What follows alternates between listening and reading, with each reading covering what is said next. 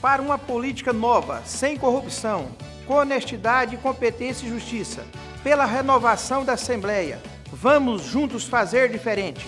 Vote Júnior Carreiro, 55111.